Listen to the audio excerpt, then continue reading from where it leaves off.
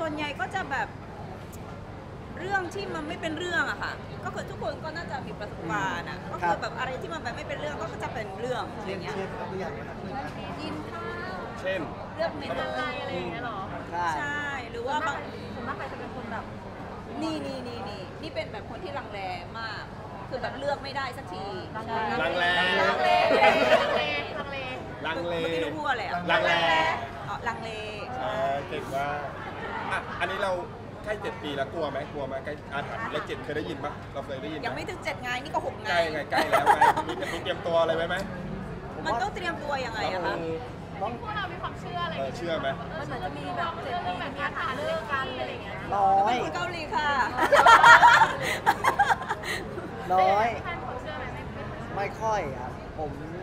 เชื่อตัวเองมากกว่าอ่าใช่ เราเคยแบบไปดูดวงคู่กันหรือว่าอะไรอย่างเงี้ยมีบ้างใช่ค่ะ เป็นไงบ้างคะก็ไม่มีไม่มีอะไรไม่ได้ที่ทักแบบทักที่ทักที่แบบไม่ดีนะคะ ใช่เขาก็จะทักบอกว่าให้แต่งเมื่อไหร่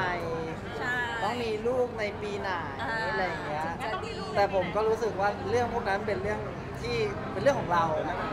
ใช่ที่ที่เขาทักแล้วแต่ง แต่งในเมื่อแต่งเมื่อไหร่ตามที่หมอดูบอก จริง ๆ หมอดูที่เคยดูให้หมายถึงว่าก่อนหน้าเนี้ยสองคนและเขาก็บอกว่า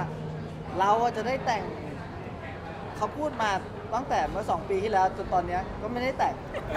เออซึ่งผมก็รู้สึกว่ามันก็เป็นที่ตัวเราอยู่ดีแหละ แต่จริงๆมันก็แบบมีหลายโมเมนต์นะที่หลายคนคิดว่าแบบเออจะขอแต่งแล้วแล้วใกล้หรือยังใกล้หรือยังอ๋อใกล้หรือยัง ใกล้หรือยัง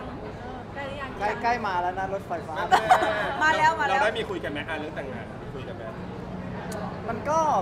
เคยคุยวางแผนกันบ้าง แต่ว่ามันด้วยด้วยอะไรดีอะตอบไงให้มันดูดีอะ เอ้าคือหมอดูทักมาใช่ด้วยด้วยด้วยเรื่องของวัฒนธรรมด้วยอะไรเงี้ยครับ ถ้าแต่งก็อาจจะต้องมี ทั้งเกาหลีแล้วก็ฝั่งไทใช่ยเพราะว่ามีครอบครัวทางนู้นด้วย มีครอบครัวทางนี้เพื่อนเพื่อนทางนี้ด้วยอะไรอย่างเงี้ยคือกลัวจะงอนกันคืออาจจะไม่มีการแบบ อย่างเช่น ครอบครัวของพี่จีเขาก็จะไม่มีการย้ายลกลากมา อยู่ประเทศไทยแน่นอน ต้องแต่งสองที่ใช่คือเขาเขาเขาอยากอยู่ที่นู่นครอบครัวพี่จีอะไรนะครับ ซึ่งมันก็อาจจะต้องดูกันว่าเออตอนเราแต่ง เราจะต้องใช้บัตเจ็ตใช้งบอะไรยังไง เพราะว่ามันก็จะมีหลายเรื่องเป็นองค์ประกอบด้วยคร่าวๆอีกประมาณกี่ปีดีเราคิดไว้วางแผนไว้ผมว่าก็ไม่น่าจะเกิน 80 นะเออเราไม่อยากมีลูกกันหรออยากมีไหมก็อยากมีลูกไหมเรื่องลูกเหรอะคะแต่งงานก่อนไหม ไม่แล้วแบบถ้าแต่งเราอยากมีหรือเปล่าอะไรอย่างเงี้ยก็ จริงจริงๆคุณแม่ก็คือแบบให้ให้หนูไปแบบฝักถ่ายก่อนไม้แบบจริงๆตั้งนานแล้วตั้งแต่หนูอายุ30อะไรอย่างเงี้ย แต่ก็คือปานนี้ก็คือยังไม่ได้ไปฝากเลย แต่ก็ตอนเด็กๆอะอยากมี แต่ว่าตอนนี้อะก็คือก็ด้วยแบบสถานการณ์โรคเบียนอะไรอย่างเงี้ยก็คือแบบหนูก็กลัวกลัวที่จะให้ให้เด็กๆเจออะไรที่มันแบบไม่ควรเจออะไรอย่างเงี้ยค่ะ ก็อืมก็เลยคิดหนัก แต่ตอนนี้ก็มีน้องหมาแล้วไงคะ ก็เลยแบบรู้สึกแบบพิวใจตรงนั้นใช่ แล้วตัวพี่ท่านเองอยากมีไหมคะมันมันถ้าถามตัวผมผมก็ยังไม่ค่อย แต่ว่า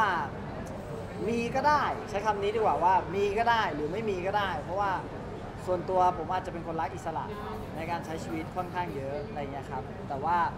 ก็มีคุยเคยคุยกันถึงพาร์ทที่ว่าถ้าสมมุติมันมีลูกมันจะเป็นยังไง อะไรเงี้ยมันก็ออกมาก็น่าจะ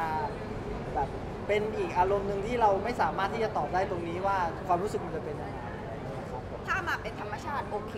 แต่แบบจะไม่ได้ตั้งใจแบบจะแบบไม่อยากได้ตั้งไม่ต้องตั้งใจทำปรึกษาคุณหมออะไรอย่างเงี้ยตอนตอนทำมันต้องตั้งใจเออแต่ตอนมีอะอันนั้นคือไม่รู้อ๋อแต่คิดว่าเออถ้ามีก็คือคงเป็นแบบธรรมชาติอย่างเดียวพี่ฮันคะขอถามเรื่องลดน้ำหนักหน่อย ครับ เพราะว่าก่อนหน้านี้มันแบบเออมีคนทักเยอะครับ ตอนนี้น้ำหนักลดไปกี่โลแล้วคะก็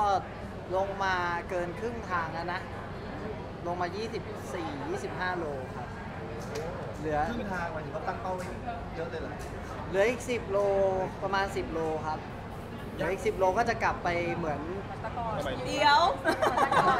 ไม่มันมันมันจะไม่เหมือนแต่ก่อน แต่ว่ามันจะเป็นเวอร์ชั่นที่ก็น่าจะดีกว่าแต่ก่อนนะครับซึ่งซึ่งก็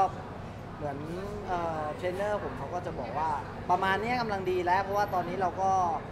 โตขึ้นอะไรเงี้ยไม่อยากให้ผอมมากเกินไป มันยากลำบากขนาดไหนครับก็ต้องยากลำบากไหม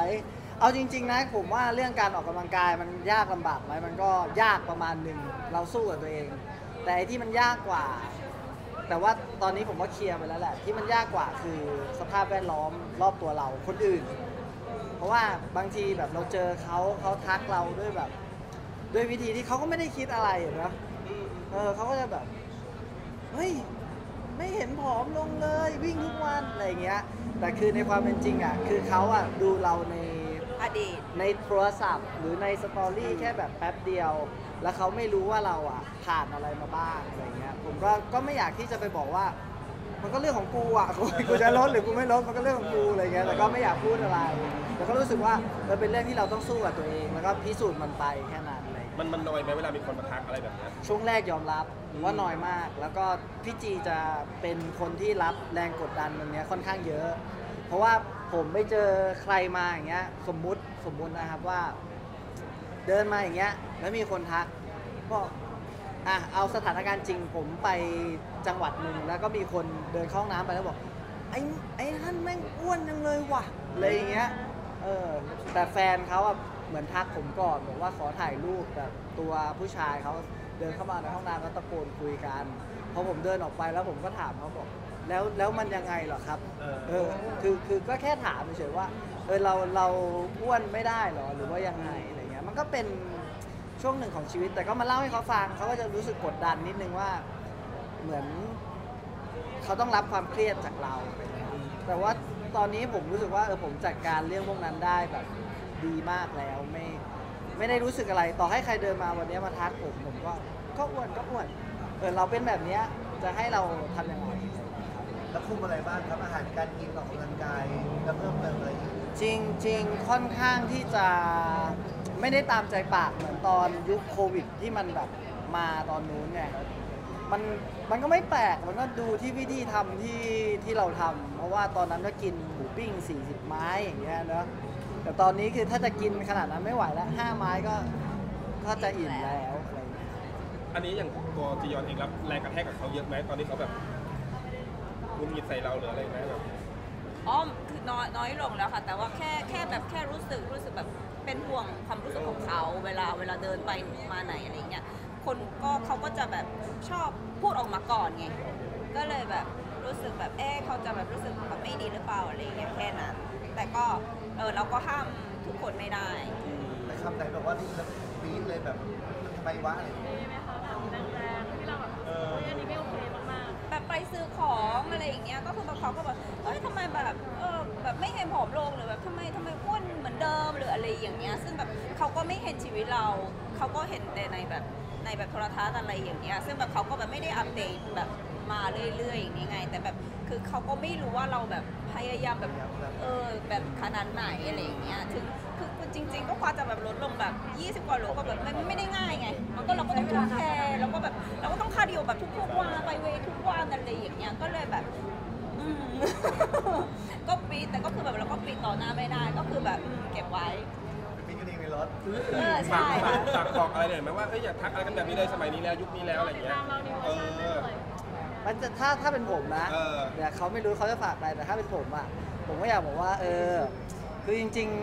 ๆ ทุกคนก็อยากเห็นอะไรที่มันเพอร์เฟกต์นั่นแหละ ผมเข้าใจเพราะว่าเวลาเราตัวเราอะ ก่อนที่เราจะไปแบบบอกว่าคนนั้นคนนี้เป็นยังไง ต้องหันมาดูตัวเองก่อนว่า คุณเพอร์เฟกต์ในสิ่งที่คุณเป็นหรือยัง